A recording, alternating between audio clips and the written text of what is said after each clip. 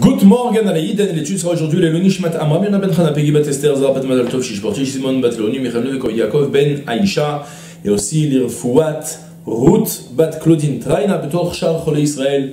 Si vous souhaitez, vous aussi d'aider les prochaines études de Mishnah, contactez les 5 minutes éternelles. Nous étudions Shvuot, Perek Aleph, Mishnah Gimel. En ba Yedia Batechila, Aval Yesh ba Yedia Basof. Seir Aneesa Bachutz, Veyom Akipurim Mechaper, Shenehemar, מלבד חטאת הכיפורים, על מה שזה מכפר, זה מכפר. מה הפנימי אין מכפר אלא על דבר שיש בו ידיעה, אף חיצון אין מכפר אלא על דבר שיש בו ידיעה. Euh, on va juste continuer aussi la première phrase de la prochaine Mishnah, ça va ensemble, comme ça, ça va être tout d'un bloc, ce sera plus facile à expliquer. En plus, ça, ça nous fera prendre l'avance pour la prochaine Mishnah.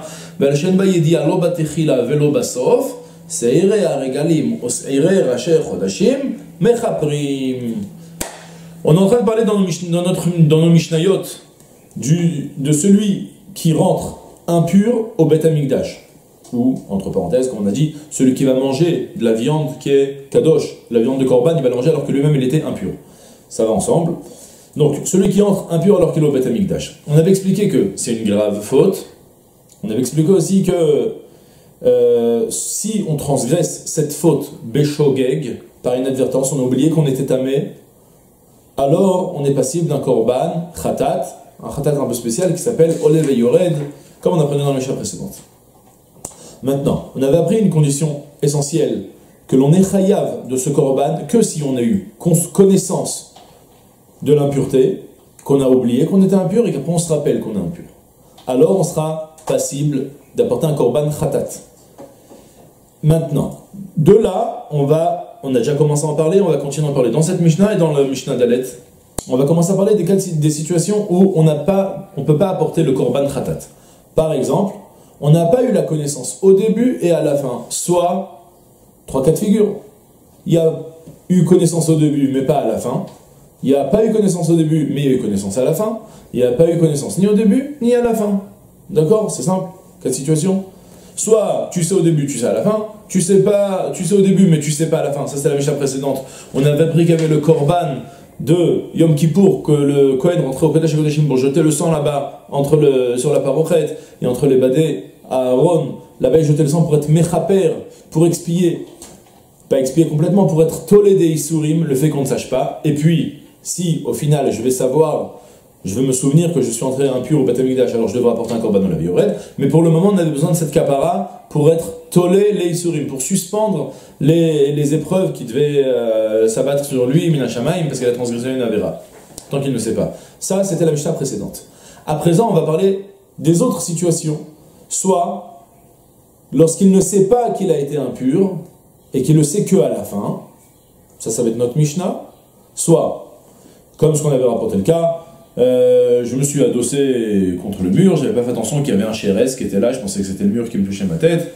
Après, je suis parti au Beth Amikdash, et finalement, en rentrant chez moi le soir à la maison, je, je remarque qu'il y avait un reptile mort ici, il y avait un serpent mort par exemple, et que je l'ai touché. Mieux que ça, je regarde même la caméra qui m'a enregistré, je réalise que j'avais la tête posée sur le serpent. D'accord? Donc j'étais impur. Le problème, c'est que je ne suis pas passible d'un korban olé veyored, d'un korban tratat. Pourquoi? J'ai pas eu connaissance au début, j'ai connaissance que à la fin. Alors j'ai transgressé une faute que je ne peux pas apporter un korban. Sur ça, hein, je vais malgré tout avoir une certaine expiation au Beth Amikdash. Et dans la prochaine Mishnah, qu'on a commencé à lire, on va prendre le nouveau cas où j'ai eu connaissance ni au début ni à la fin. D'accord? Ni de ma vie, je vais jamais savoir finalement que j'ai été impur. Même sur ça, il faut une expiation. On met ça maintenant de côté, et puis on va étudier à l'oral la paracha de Pinchas là-bas, hein, où la Torah ordonne tous les corbanotes à apporter durant les jours de fête, les jours de Rosh Chodesh, euh, à Yom Kippour, et on va les classifier. Il y a d'abord Yom Kippour, ça apparaît là-bas, et ça apparaît surtout en fait dans paracha, dans Remot, d'accord, dans, Vaikra dans, dans, donc dans Vaikra, on, a, on apprend qu'il y avait le Korban. Mon but, ce que je veux maintenant, c'est classifier quatre niveaux, étant donné qu'il y a quatre fautes. C'est-à-dire, il sait au début, mais il sait pas encore sait pas encore à la fin. Il sait pas au début, mais il sait à la fin. Et il sait ni au début ni à la fin. Et puis la quatrième, on la laisse de côté pour le moment. D'accord? On va apprendre qu'il y a quatre sortes de korbanot qu'on apporte durant les jours de fête, où là-bas on apporte un seir khatat qui est mechaper. Seir izim khatat. Ouais, comme on le lit à Rosh Chodesh, on le lit dans les régalim, durant les jours de fête, on apporte seir izim khatat, à part le par, euh, par, Aïl, Leola et les Shiva Kvasim qui étaient tous des holotes, on apportait en plus de ça un Seir Khatat. Seir Khatat, ça vient pour expliquer quelque chose. Qu'est-ce que ça explique? Ça explique la faute d'être entré au Beth Amikdash Tamé. Puisqu'il y a trois niveaux de faute que j'ai besoin d'aide du Beth Amikdash, soit connaissance au début mais pas à la fin, pas connaissance au début mais connaissance à la fin, connaissance ni au début ni à la fin, alors il va falloir maintenant que les corbanotes qu'on apporte, les corbanotes Sibour, viennent justement pour expier ça. Avec, tout d'abord, comme ce qu'on a appris dans la mission précédente, savoir au début qu'on a été tamé, mais pas à la fin. Alors il faut un corban pour être tolé, c'est le, le Saïr Bifnim, le bouc qu'on jette le sang à l'intérieur du Kodesh Kodeshim. Dans notre Mishnah, on va prendre à présent le deuxième niveau. On n'a pas su au début, mais à la fin, on sait. On sait que je, sais que j'ai été tamé, que j'ai entre Batamikdash tamé. Le problème, c'est que je suis pas passible d'amener un korban tratat personnel individuel. Donc le seir qu'on va porter à Yom Kippour, Yom Kippour, il y avait trois seirim, on va l'expliquer ensuite, mais d'abord je présente euh, généralement. D'accord? Le saïr Aneesa Bachutz, c'est celui qui s'appelle le saïr Aneesa Bachutz, le bouc qu'on a porté sur le misbeach de dehors. Alors lui, il expiait les fautes de En Bayedi Abatrila, Veyesh Bayedi Abasof. Il ne savait pas qu'il a été impur au début, mais il a, su après coup qu'il a été impur, donc il ne peut pas porter son corban. Et dans la prochaine Mishnah, maintenant, on va prendre celui qui avait connaissance ni au début ni à la fin. Le gars, il vit sa vie tranquillement, il fait même pas attention qu'elle était tamé, qu'il entre au batamique d'Ashtamé. Il va même pas se purifier tellement qu'il sait pas qu'il est tamé. Mais malgré tout, ça demande expiation. Et pour cette expiation, alors on va avoir les korbanot, les seirim, les boucs qu'on va apporter en khatat durant les jours de fête et à Rosh Chodesh, ils vont être mechaprim, cela précisément. D'accord? On commence maintenant à lire et traduire la Mishnah Bezat ah non, encore une autre précision. Je vous avais dit, il y a trois korban saïr qui entrent en. Je ne sais pas, si vous appelez korban, mais en tout cas, dans la voda de Yom Kippour, il y a trois fois, trois seirim à avoir, trois boucs à avoir.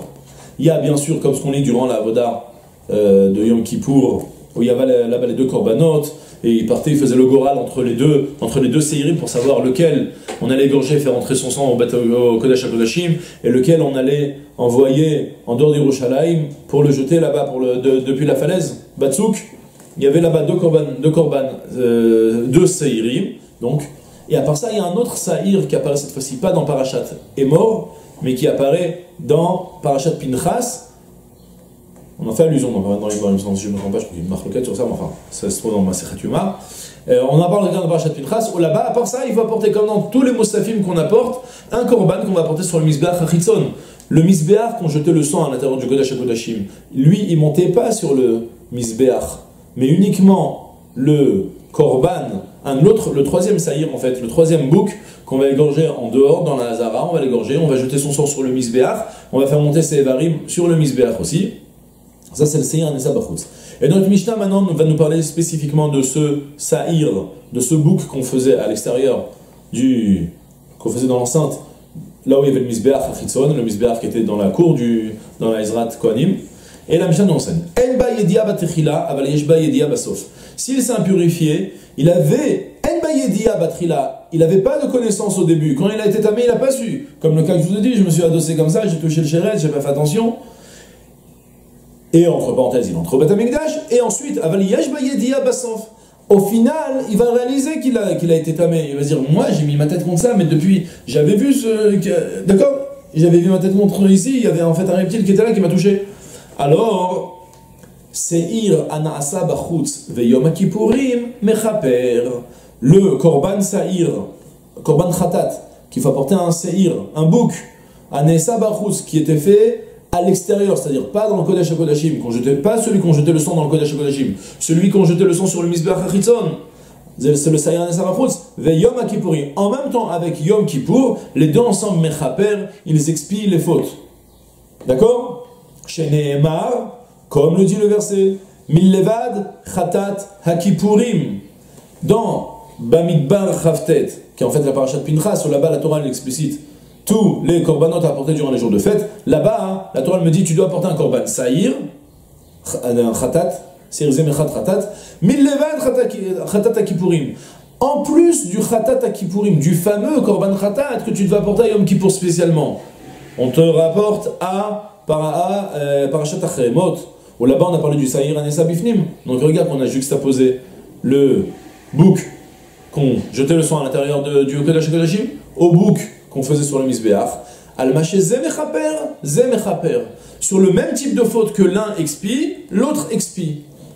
Ma pnimi en mechaper el al davar sheesh bo yedia.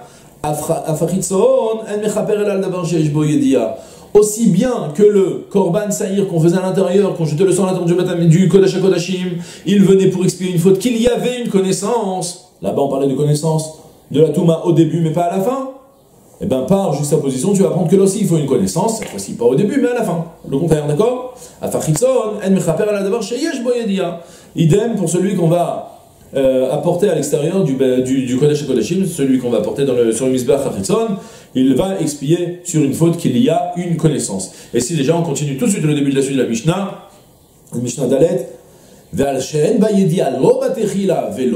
par contre un korban, une, une impureté qu'on a su ni au début ni à la fin, c'est juste quelque chose qu'Hachem sait. Moi, je sais, aucun homme ne sait. J'ai pas fait attention tout à l'heure, et j'ai mis ma main quelque part, j'ai été impurifié, je suis entré ensuite au Beth j'ai eu connaissance ni au début ni à la fin, ni je vais réaliser, d'accord?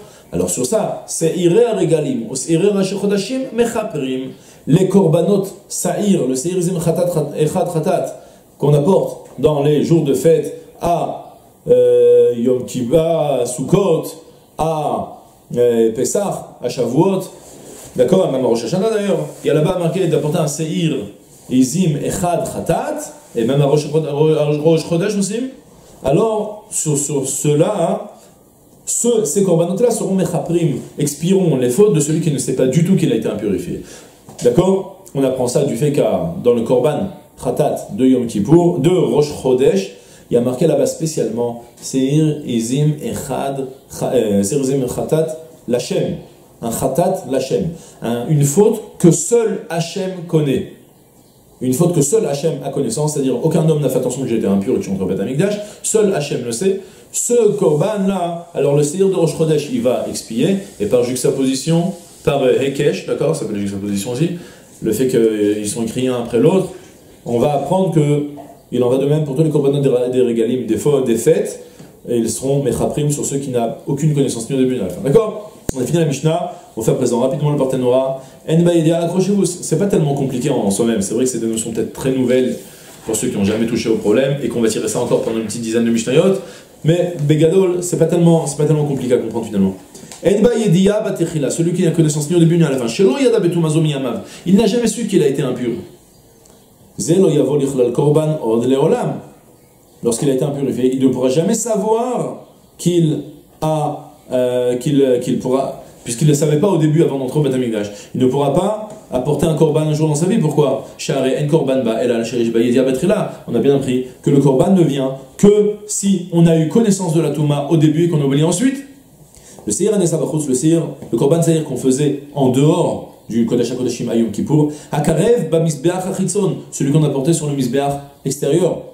D'accord Le Misbeach à Ola, ba Moussafim Shenon Kibrim, quand on a porté les korbanot Moussafim de Yom Kippour. Yom Kippour, à part être un jour spécial, on fait la fameuse expiation des deux boucs, il y avait en plus de ça des korbanot Moussafim, comme à chaque fête un par, un sei, un, un, haïl, les par, vaïl, le rola, et shivak vassim, mais en plus de ça, il fallait apporter un sirizim khatat, mais levad el akipurim, khatat akipurim.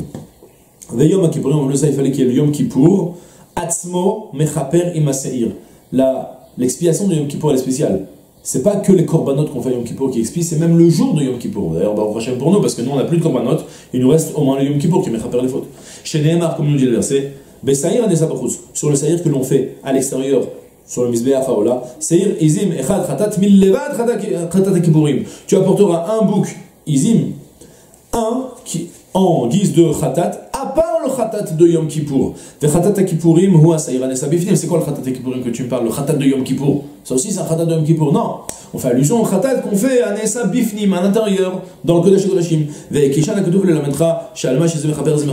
Le pasuk les a juxtaposés l'un à l'autre pour te, pour t'apprendre que sur ce que l'un expie, l'autre expie. Aussi bien que le saïr qu'on fait à l'intérieur du Kodesh Kodashim, qu'on jette le sang à l'intérieur du Kodesh Kodashim, il vient sur quelque chose qui avait une connaissance, comme on a dit, connaissance au début, mais pas à la fin. Hein. Ma'omainiou, de quoi on parle quelle, quelle connaissance? Yedi là, celui que tu savais au début, qui était al final mikra dirtiv de Comme ce que le pasuk, on apprenait ça dans la, dans, le, dans la mission précédente, le pasuk nous dit le kol des mashma, les otam sheyavo lichlal chatat shetiye lahem yedi. D'où on apprend que celui du Yom Kippour expie spécifiquement sur celui qui a une connaissance au début mais pas à la fin. Parce que le pasuk nous dit le chol chatotam pour tous les khataot, tous vos khataot, c'est-à-dire même le khatat qu'au final tu finiras par apporter un korban khatat, mais que pour l'instant tu l'apportes pas parce que tu le sais pas, sur ça, le Seir Anessa Bifnim, il est mechaper, il est tolé les Isurim. Veillez à le khatat, et là, imken aïtalo yidi abatrila. D'accord Ça se répète. Av Seir Anessa Bachutz, et non mechaper, et là, al shayesh bo yedia. Aussi bien, aussi, il en va de même, pour le Seir Anessa Bachutz, le korban Saïr, le bouc qu'on fait à l'extérieur, donc sur le Mizbeach Haola, il n'expirera que sur celui qui a une connaissance, en l'occurrence, au Maïniou, lequel? Celui qui, a, qui, aura une qui, qui, aura, qui prendra connaissance de sa Touma après coup, mais qui n'avait pas connaissance de sa Touma avant, donc il ne sera jamais passible d'apporter un Korban Khatat. Cette fois-ci, l'expiation sera totale, pas comme le Saïr Bifnim, le Saïr qu'on apprend dans la Mishnah présente, qu'il n'est pas, il n'expie pas totalement. Il permet juste de suspendre les, les Isurim, les épreuves qu'il devait endurer. Là, cette fois-ci, le Saïr Anessa Bachus, puisque tu ne peux pas apporter un korban, donc ce korban-là expire à toutes tes fautes. Et c'est tout pour aujourd'hui. Je vous souhaite une journée pleine de Hatzlacha. Call to